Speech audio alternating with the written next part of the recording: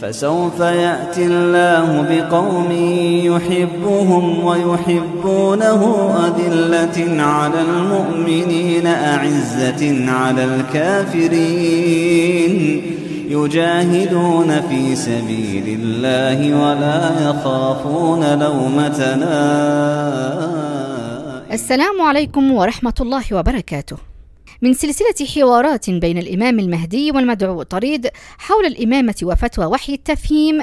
نقرأ عليكم هذا البيان الذي كتبه الإمام المهدي المنتظر ناصر محمد اليماني بتاريخ السادس والعشرون من شهر محرم لسنة 1430 للهجرة. الموافق الثالث والعشرون من شهر يناير لسنة 2009 عنوان البيان ما هي أدلتك على أنك إمام؟ بسم الله الرحمن الرحيم. والصلاة والسلام على محمد وآله الطيبين الطاهرين والتابعين للحق إلى يوم الدين وبعد السؤال الأول ماذا يعني لك إمام؟ الجواب أخي الكريم جعلني الله إماما للمتقين أدعو إلى الله على بصيرة منه كتاب الله وسنة رسوله الحق وجعلني الله للمتقين إماما تصديقا لقول الله تعالى واجعلنا للمتقين إماما صدق الله العظيم. السؤال الثاني ما هي أدلتك على أنك إمام؟ الجواب أدلتي على أن الله جعلني للناس إماما أن زادني بسطة في العلم على كافة علماء الأمة. فلا يجادلني عالم من القرآن إلا أقمت عليه الحجة من محكم القرآن حتى يسلم تسليما. وبسطة العلم جعلها الله برهان الخلافة من أول خليفة آدم إلى خاتم خلفاء الله أجمعين الإمام المهدي الحق من رب العالمين. وبما أن الله اصطفى آدم خليفة في الأرض ولذلك زاده بسطة في العلم على الملائكة الذين كانت لهم نظرة أخرى في اصطفاء آدم. ومن ثم أقام الله عليهم الحجة فعلم آدم الأسماء كلها ثم قال لملائكته فقال أنبئوني بأسماء هؤلاء إن كنتم صادقين. قالوا سبحانك لا علم لنا إلا ما علمتنا إنك أنت العليم الحكيم. قال يا آدم أنبئهم بأسمائهم. صدق الله العظيم.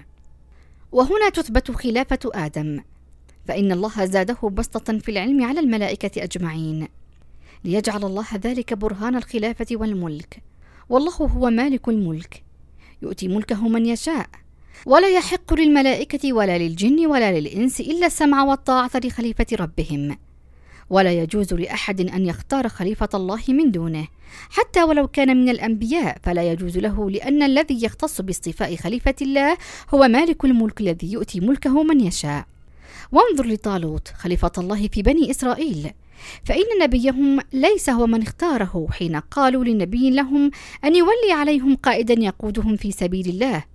وقال الله تعالى وقال لهم نبيهم إن الله قد بعث لكم طالوت ملكا. قالوا أن يكون له الملك علينا ونحن أحق بالملك منه. ولم يؤت سعة من المال؟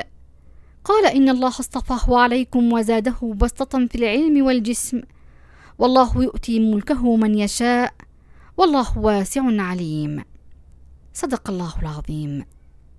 ومن ثم نعلم من خلال هذه الآيات المحكمات أن شأن اصطفاء الخليفة يختص به مالك الملك الذي يؤتي ملكه من يشاء.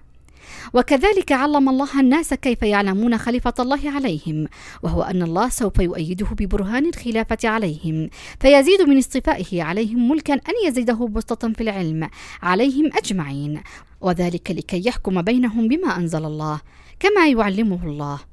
وإذا كان الإمام ناصر محمد اليماني هو حقا خليفة الله في الأرض اصطفاه الله رب العالمين فحتما لابد أن يزيده بسطة في العلم على كافة علماء المسلمين حتى يحكم بينهم في جميع ما كانوا فيه يختلفون بسلطان العلم من كتاب الله وسنة رسوله الحق السؤال الثالث ومن نصبك إماما؟ الجواب نصبني الله مالك الملك الذي يؤتي ملكه من يشاء تصديقا لناموس الخلافة في الكتاب في قول الله تعالى قال إن الله اصطفاه عليكم وزاده بسطة في العلم والجسم والله يؤتي ملكه من يشاء والله واسع عليم. صدق الله العظيم. السؤال الرابع ماذا يعني يماني؟ وكيف يمكنك إثبات أنك يماني؟ الجواب يماني من اليمن كما مصري من مصر. أو فلسطيني من فلسطين. وأما إثبات أني يماني لأني يماني من اليمن وفي اليمن وأبي يماني وجدي يماني وسيدي يماني كابرا عن كابر.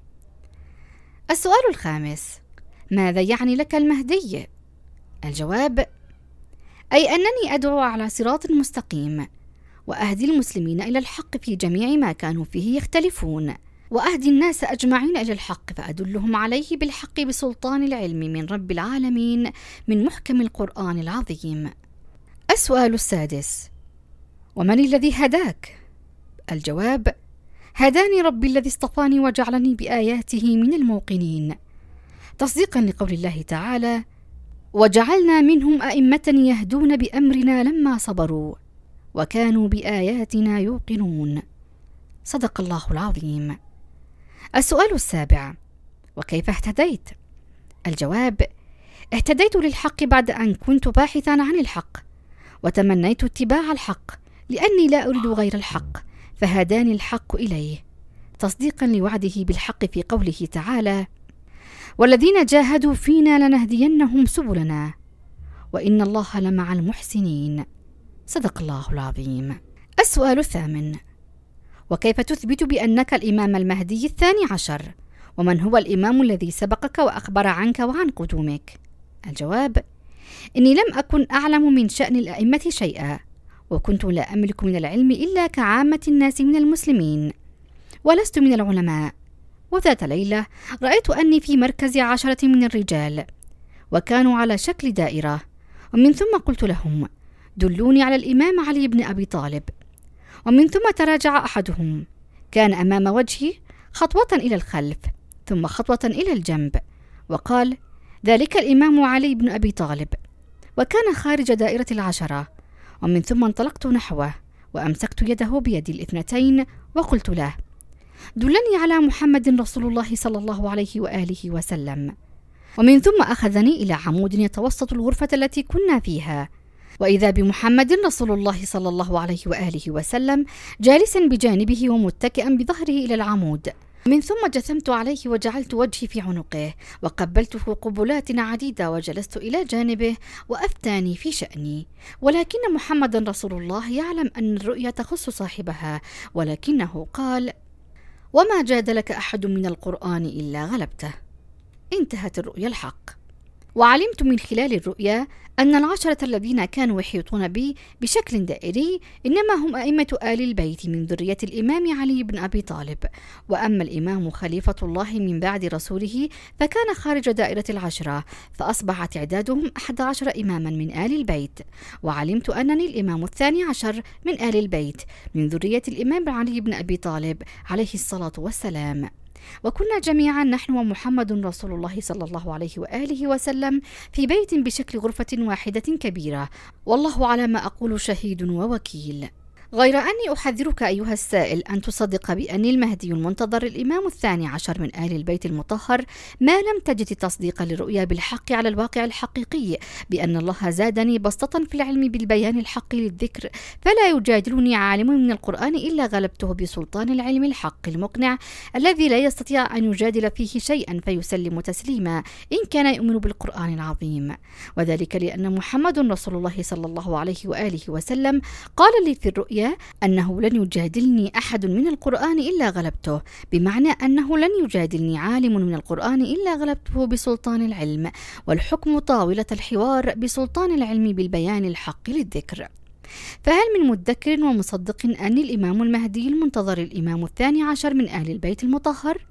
ولم يعلمني الله ورسوله بأسمائهم لأن أسماءهم لا تهم بل الحكمة في تبيان عددهم وذلك لكي أعلم أني الإمام المهدي الثاني عشر من آل البيت المطهر ولو وجدوا لما وسعهم إلا أن يتبعوني جميعا وفوق كل ذي علم عليم السؤال التاسع أنا موحد لله عز وجل وأشهد أنه لا إله إلا الله فهل يتوجب علي الإيمان بك ولماذا؟ الجواب بلى الإيمان بشأن ودعوتي حق مفروض وشرط لكم علينا بالحق أن تجدوا أن الله أصدقني الرؤيا بالحق. فزادني على كافة علماء المسلمين بسطة بالبيان الحق للذكر لكي ألم شملهم وأجبر كسرهم وأحكم بينهم بالحق في جميع ما كانوا فيه يختلفون.